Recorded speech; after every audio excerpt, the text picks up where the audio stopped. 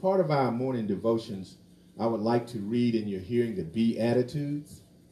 And that's found in Matthew 5, verses 1 through 12. If you would, turn with me in your Bibles to Matthew chapter 5, verses 1 through 12, the Beatitudes. And seeing the multitudes, he went up to the mountain, and when he was set, his disciples came unto him and, and said, And he opened his mouth and he taught them, saying, Blessed are the poor in spirit, for theirs is the kingdom of heaven. Blessed are they that mourn, for they shall be comforted. Blessed are the meek, for they shall inherit the earth.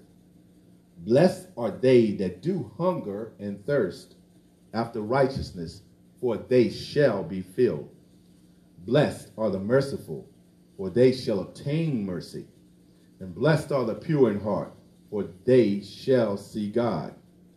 Blessed are the peacemakers, for they shall be called the children of God. Blessed are they which are persecuted for righteousness' sake, for theirs is the kingdom of heaven. Blessed are ye when men shall revile you and persecute you and say all manners of evil against you falsely for my sake. Rejoice and be exceedingly glad, for great is your reward in heaven. For so persecuted they the prophets which were before you. Amen. Amen. Today, I welcome you to new members class. Today, we will be studying again session one and two. And it's usually filled with fellowship, pictures, video presentations, and get acquainted activities. But first of all, I would like to introduce myself. I am yours truly, Minister Douglas Pettie. And the members of the committee are Sister Harriet Gooch, Sister Michelle Rogers, and Sister Cheryl Williams. We thank God for these ladies in ministry. Uh, they keep things moving right along um, like a well oiled machine. They are an intricate part of New Members class, and we look forward to fellowshipping together as we grow in Christ. If you have any questions or you don't understand something, please feel free to ask and one of us will assist you in getting what you need. Today is uh, usually a time when we have a meet and greet session. So that at that time we'll be introducing our newest members of our church and get acquainted with the activities of our church. And normally at the beginning of this class, we will receive a small handbook where you may take notes and keep up with classes that you may have completed or haven't finished as of yet. Items that are needed for our class is a pen and a pencil, a Bible and an open heart to receive God's Word. New members' classes have changed from 16 weeks to 8 weeks. And we want to make our time together exciting as we study God's Word and learn about our church and church polity. It is a good thing to know your church family. Amen? Amen. Good thing to know. I really wish that you all were here with me so that we could might even take a little tour around the church. And I'm going to tell you about our church. Our church started in 1862 and still in existence in 2020. Our history uh, indicates that there are days before the Civil War, our fathers worshiped in the church of the white masters. And many of our churches that exist grew and developed from a small group of black worshipers who sat in some designated session of white people's church. Now that's good news that we know that we uh, have been serving the Lord here at First Baptist Church and I believe that we are the oldest church in Newport News for black people. So that's good news to know that you're a part of First Baptist Church Denbigh.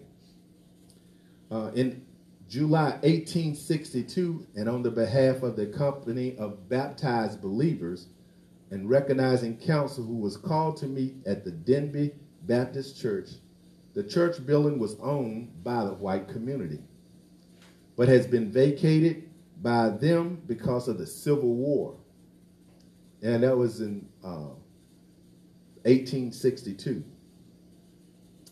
Um, we did learn about um, the graves that are outside of our church building, um, located where the uh, wrought iron fence is, that some of the uh, members are buried there that were from slavery. So that uh, lets us know that we have history. And it's good to know that you have history. Edward Diggs was a freed uh, slave in, in 1861, joined the Union Army on October the 5th, 1863, and served until October 5th, 1866. He was a corporal. So we had officers back then that served uh, in the United States Army uh, in the Civil War, uh, and they're buried right outside. Um, that would be something good for you to go and take a tour of and we used to be called the Colored Denbigh Baptist Church. Um, Harris Cornelius Carey uh, and Enos Washington and Samuel Bailey were chosen as deacons. They were our very first deacons.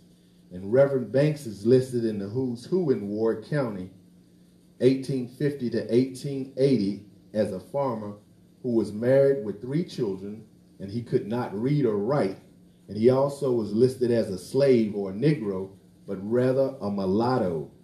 Uh, if you go down the corridors uh, near the sanctuary and look in the curio that we have the pictures of all of the uh, past ministers, and you see someone in there, he looks like he's white, but he's a mulatto. Mulatto, he, he looks like a white man. So when I first came here, I thought that he was our first leader that he was white, but he's considered mulatto. Uh, after Reverend Banks' resignation and uh, ordination council was called to consider setting apart Brother T.G. Wright as a minister of the gospel, and Reverend Wright was ordained and became the second pastor, serving from 1863 to 1869.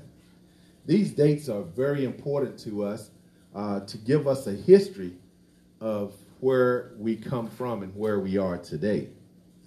Uh, during the pastorate of Reverend T.G. Nettles, 1870 to 1883, a larger house was built to accommodate an increased membership, and the church was renamed First Baptist Church of Warwick County. And other ministers were Reverend Walt uh, Talton and J.B. Whiting, who served from 1883 to 1887. And Reverend Robert H. Natherus was elected as leader in July 25, 1887, and was ordained in August 23, 1890. And during this period, the congregation continued to increase and build and was added to the church and renovated. His pastor ended in 1912 after 25 years of service. He was buried in the old church cemetery. That's good news to know that we have history going way back. And we're going to bring it a little bit closer. If you walk through again the quarters of the church, you'll see different pictures of the old churches that we had, the old church buildings and the church building that burnt down. Uh, it's good to know your history, where you come from. And it's good to know your future, where you're going to go to. But you first have to have a history in order to get a future. Amen? Amen. From 1912 to 1947, the following ministers pastored the congregation, and that was Reverend T.C. Williams from 19 12 to 13, and under whose pastorate cemetery, number two, was purchased. We have two cemeteries. We have the uh, slave the slave cemetery to our left, and our newest cemetery to our right, uh, where um, many members um, that have uh, joined here are buried. And sometimes just take a walk through and look at the dates on the gravestones out there. Take a tour, take your children to see the past of the church members that helped keep First Baptist Church Denbigh alive. When Warwick County merged with the count with the city of Newport News in 1958, First Baptist Church Denbigh became the oldest organized black church in the city of Newport News. It also became the oldest First Baptist church in the area. That's very important to know that history about your church. If somebody asks where you go, you can even share it. I go to the oldest First Baptist church in this area. Amen. Prior to that time, First Church of Newport News was the oldest. First Church of Newport News was the oldest prior to us. Reverend Samuel Flagger served from 1959 to 1963. The church bought its first electronic organ under the pastorate of Reverend T.T. Uh, Brown 1963 to 1967. And under the pastor, following the accomplishments were made, street lights were purchased. Now we have street lights all over. That's that's good. We've come a long ways. You know, when back in the day we didn't have street lights, and now our church parking lot is uh, lit up. Then from 1968 to 1973, uh, Reverend Albert L. Hill actively uh, recruited the new members and initiated a bond sale of $100,000 to build a new church. Wow, back in the day, that's a lot of money. $100,000. Uh, on February 18, 1971, ground was broken for the new building, and a cornerstone was laid on July 3rd, 1971. The modern facility, completed air conditioned, was built at a cost of $200,000, including furnishings. The first service was held in the new building in May 1972.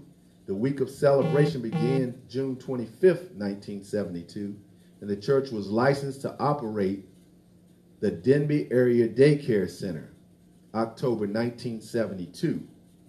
A church nursery and a nurse's aid was also organized.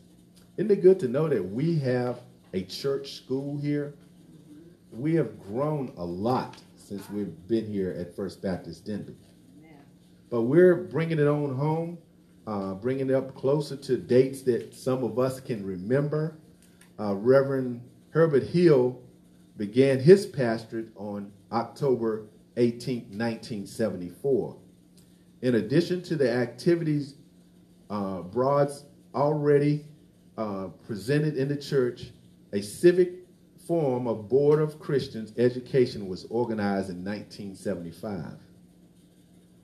The Cross Bulletin Board and a steeple were dedicated in June 1975. Reverend Hill licensed many ministers and ordained three ministers, including the first female minister, and that was Reverend Dolores Borum. Uh, some of these ministers are now pastoral positions, and some are assistant pastors' position. The 8 o'clock worship service was added to our church worship in 1981. So, church family, we've been doing uh, 8 o'clock service for a long time, since 1981. A church historian, Miss Evelyn Banks, was also elected under Reverend uh, Dr. Hill. Amen. And prior to um, the elections, the church clerk and other lay, lay members maintain a historical data on the church. Uh, if you go out in the vestibules, you will uh, see as you come through the quarters a uh, a church history um, display.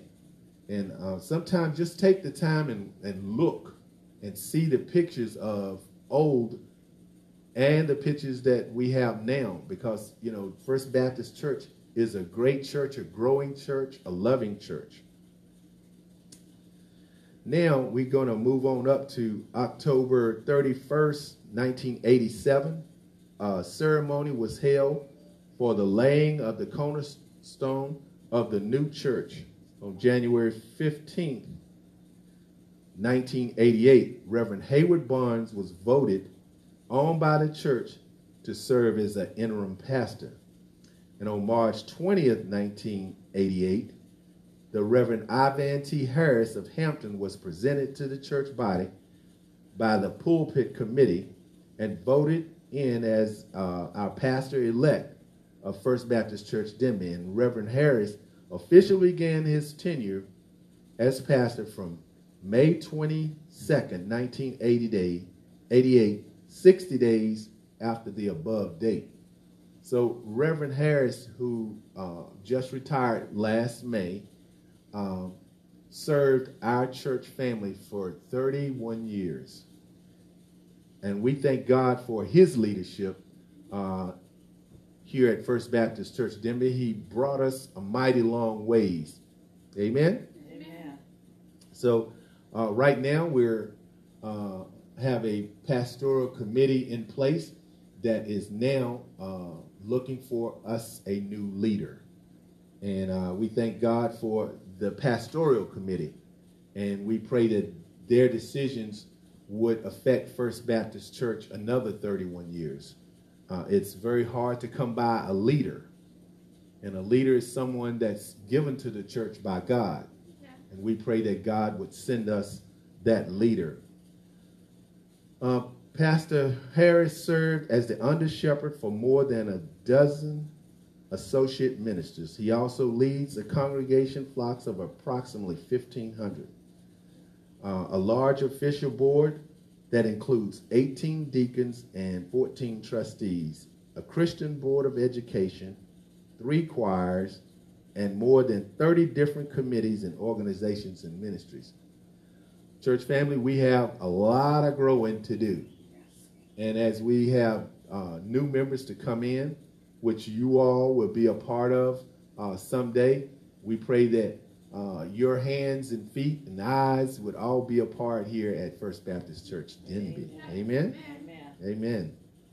Um, we have so many programs that we want you to be a part of uh, as we grow.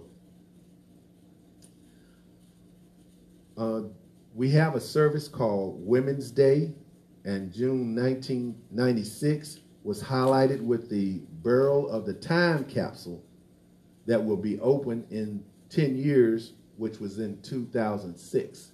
We did bury a time capsule in 2006 uh, and was, I mean, in 2000, in 1996 and was opened in 2006. Now, I think it would be a good thing if, since we have gotten to uh, another time in the 20s, that we um, put together some type of time capsule for the next century to see where we started and see where we come to. Um, it's always good. The Bible tells us to uh, number our days, and uh, we would be able to see children born, uh, go to first grade and graduate from college, and then we would see them grow from college to uh, getting married and starting a family, and the tradition starts all over again. And I know some of you all have already seen my grandchildren. They were little babies, and I was holding them on the front row of the um, deacon side, and now they're almost grown. It's amazing how, how time passes, but we thank God for that. The fruits of our, the labor of First Baptist Church leaders are great, and many family members of our um, forefathers are still active in this church. And many adults who are taught in the Sunday school and in churches are now pastors and ministers. Isn't that good news? That we are raising up ministers and pastors. You know, you don't want someone to just stay uh, dormant. You want them to grow. And we want you to grow here at First Baptist Church. That's why it's important that you know something about your history, know something about um, new members, so that you can get a, a, a feel of who it is that you're worshiping with, and most of all, who we're serving. Most of our young people are doing great today because of their spiritual background that they received here and carried with them while pursuing their studies and beginning their families. Amen. I, have seen so many that I remember uh, young grow up and now are married. Excuse me. The First Baptist Church Denbigh is experiencing a new level of spirituality as we strive toward putting God first. And we have so many qualified, gifted, and dedicated members within our church body. Amen? Amen.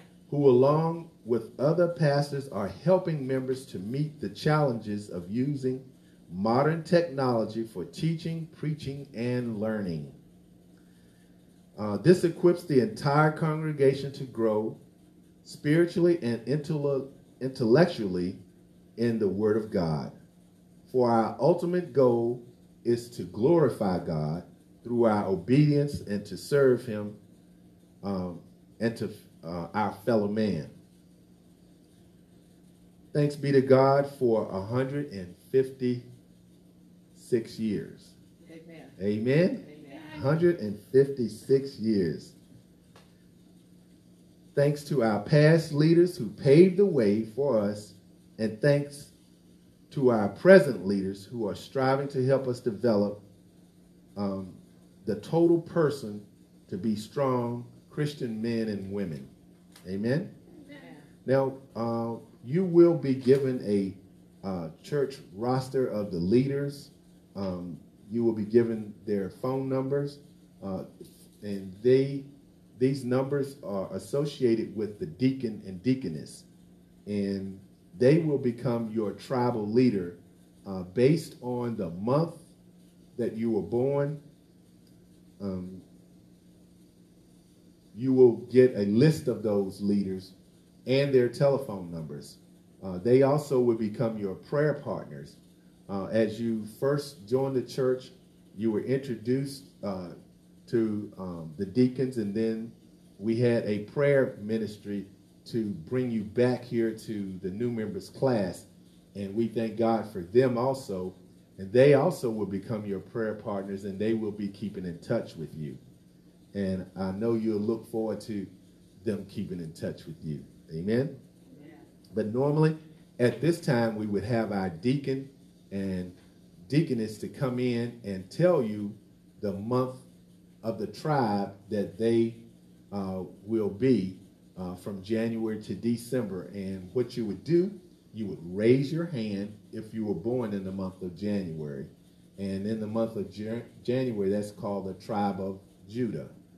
So is anyone in here born in the month of January? Amen. That's me. but I look forward to seeing you guys when we can all meet and greet. Um, the deaconess uh, they also will be assisting you and calling you if you have any requests because you may not always be able to get to the pastor.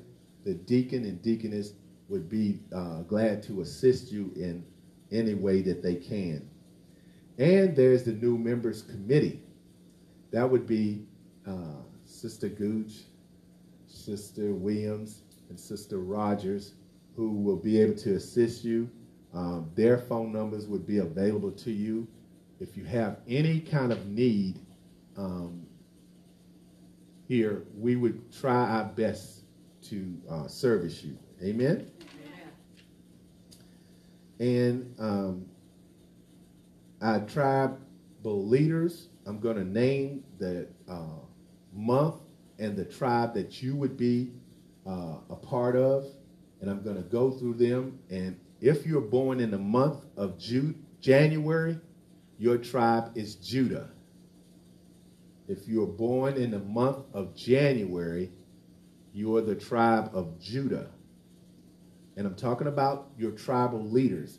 These are the people that you would be in contact with, especially if you haven't, uh, you need prayer, uh, you need a visit at the hospital. Um, you won't always be able to get in contact with the pastor, but you will be able to get in contact with them because we do provide you with a phone number. Now, for the month of February, is Zebulon. The month of March is Issachar. The month of April is Dan. The month of May is Gad. The month of June is Asher. The month of July is Naphtali. The month of August is Benjamin. The month of September is Ephraim. The month of October is Manasseh. The month of November is Reuben. And the month of December is Simeon. And I know that you all fit somewhere in that. I thank you all for uh, listening on today uh, as we discussed uh, chapter one, uh, session one, and session two. I thank you all. I pray that something was uh, said and done that would enhance your spiritual growth. And I pray that uh, I would see you all next week where we will be studying session three and four. To God be the glory. I look forward to seeing you again. It's in Jesus' name. But first, let us bow for a word of prayer as we end this session.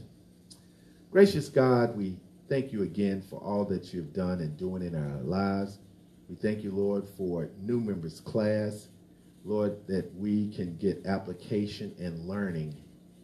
Oh God, help us to be the hands and the eyes and the ears, a part of the body, Lord, that would edify you.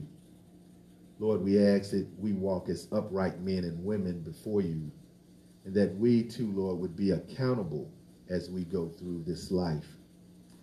Lord, we pray for understanding of your word. We pray for wisdom. We pray for knowledge.